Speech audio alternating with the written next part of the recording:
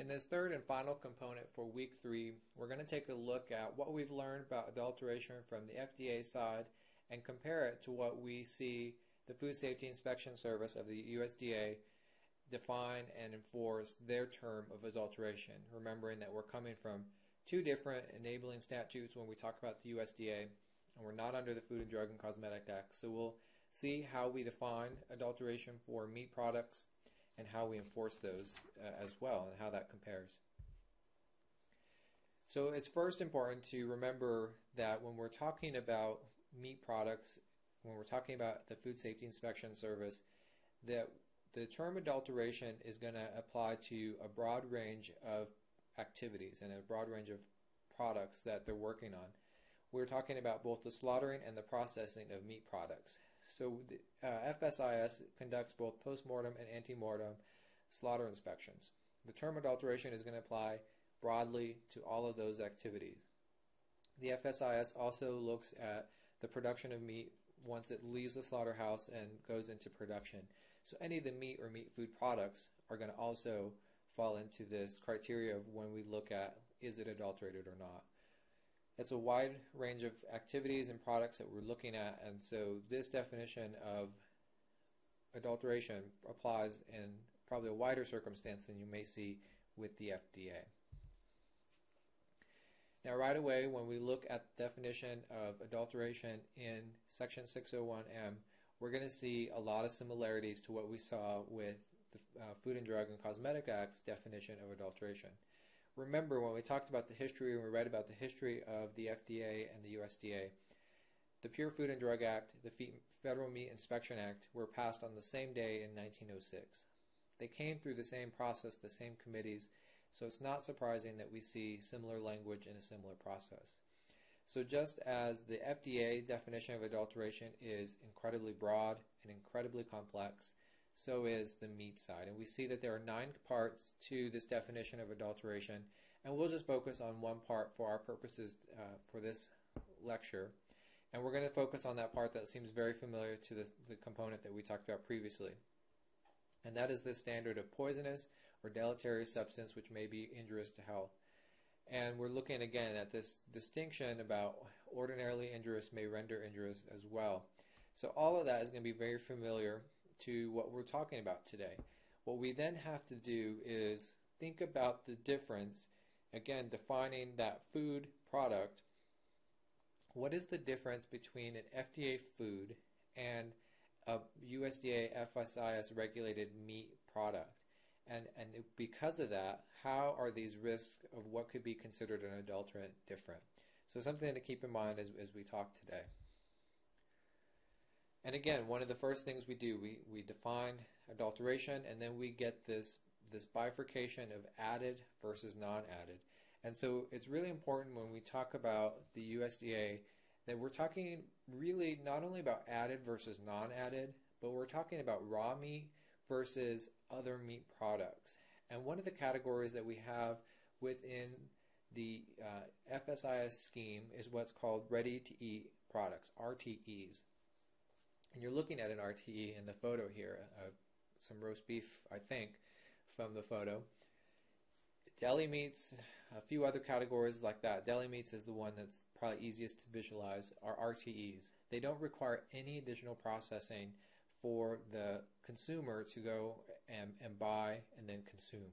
So, you know, deli meats, we buy them, we put them in our sandwich, and we consume them. And so it's important when we're talking about adulteration what's going to be deemed adulteration on something like a ready to eat product versus what's going to be considered adulteration on a raw meat product. Raw meat products, the expectation is that the product will be cooked and there's a responsibility for the consumer or the restaurant or whoever is preparing it to bring it to the appropriate temperature to uh, re- kill those pathogens that could be present. Now, if there are other adulterants, say metal fragments, then of course the cooking step is going to take care of that, and that's an added adulterant that we can look at. But for this distinction of non-added, remember we're talking largely about naturally occurring components or uh, attributes to these products, and pathogens are a naturally occurring component to meat products. Salmonella, E. coli, and some of these others that we're going to talk about. But when we're talking about raw meat, for the most part, these pathogens aren't going to be considered a, an adulterant because they're naturally occurring, and there's going to be this expectation that the consumer will take steps that would eliminate the pathogen. But the USDA uh, FSIS is very careful to give two examples of what it means to be an added adulterant, in particular for RTE products. Now, these two that I've listed are naturally occurring. They're in the animal. We would expect them to some extent to be there.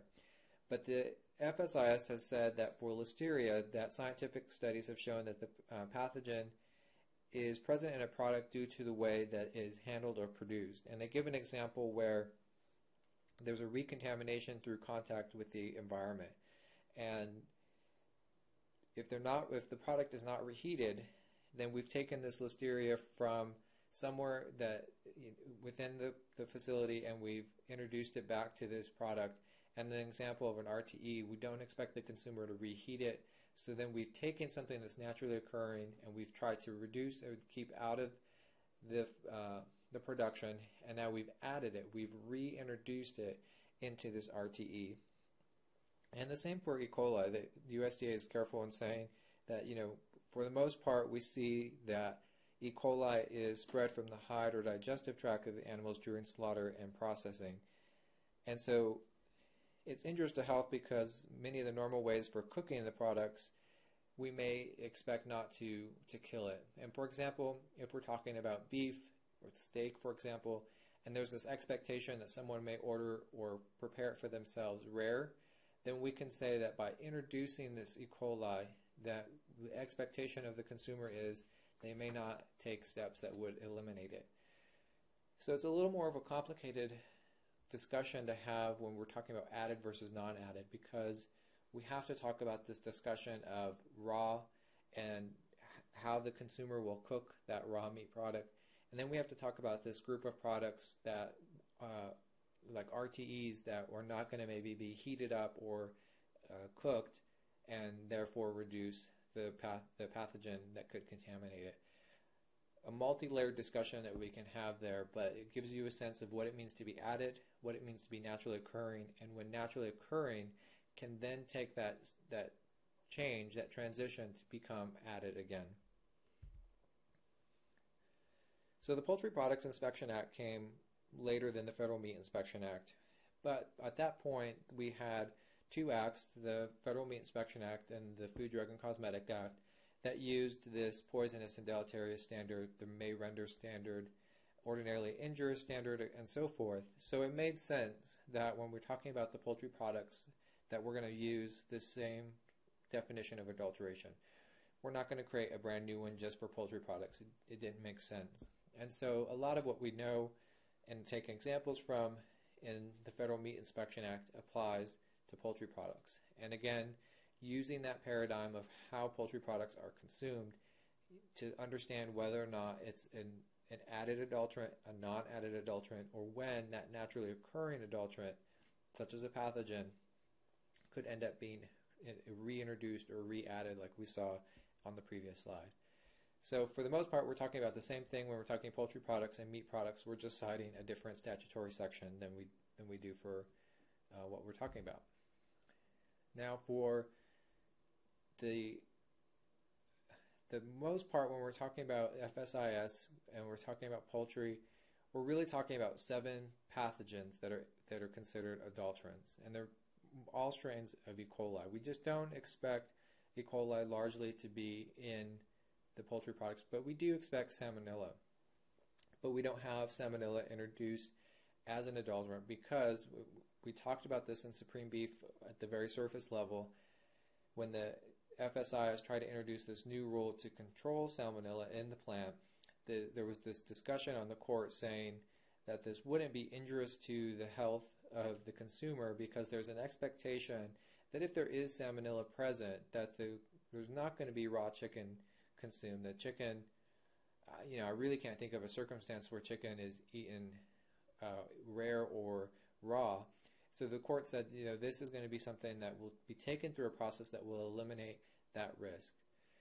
But we have to ask ourselves, is this necessarily the case? And we and we have this recent example at the end of 2013 into 2014 of this uh, outbreak of illnesses of salmonella poisoning involving Foster Farms. And we have to think about this in terms of when does a strain of salmonella become an issue to the point that we would say it's an adulterant. And and what do we do in situations where we have something that is causing an outbreak? We know that the product is responsible for the illness, but it's not an adulterant. We can't go back and recreate a rule, and we can't go back and, and change what we're talking about versus added and non added at that time. And, and so all of our enforcement tools suddenly become more or less useless because in order for this enforcement action to begin as a compulsion from the agency, we have to say, look, you have an adulterated product. Because the product's adulterated, we can seize it. We can, um, you know, go to court and ask for a recall. We can take these steps. But when we don't have that legal leverage to say this is an adulterant, what do we do? And so this is something that we're confronting now with the Foster Farms outbreak. And it's an interesting question, and there's, I'm certain going to be following this, a very long discussion about how salmonella can be an adulterant and be added to this list. Because right now, for poultry products, we're really looking at E. coli strains. And so, again, not an easy process that we go through, and it's not always a precise process. Uh, and the last thing I'll say on the USDA side is that we also get into economic adulteration, something that we've spent the second component of this week talking about. But we don't see as many cases of that on the USDA side. It's just not as an active area of legislation and enforcement. What will be interesting to see happen as we go forward with the Food Safety Modernization Act is if the FDA is raising the bar to come up and introduce this idea that we will continue actively looking and enforcing economic adulteration. We mentioned this in the second component. And we have the USDA FSIS that is operating under two enabling statutes that are not been modernized, have not gone through this process, and they're not on par with what the FDA is doing.